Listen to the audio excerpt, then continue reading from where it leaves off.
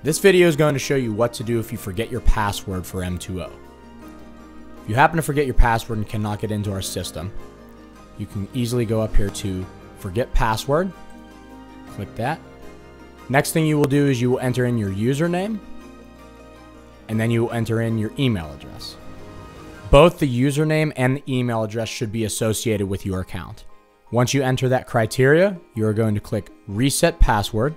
And after you click reset password, you will then receive an email in your inbox shortly after to create a new password.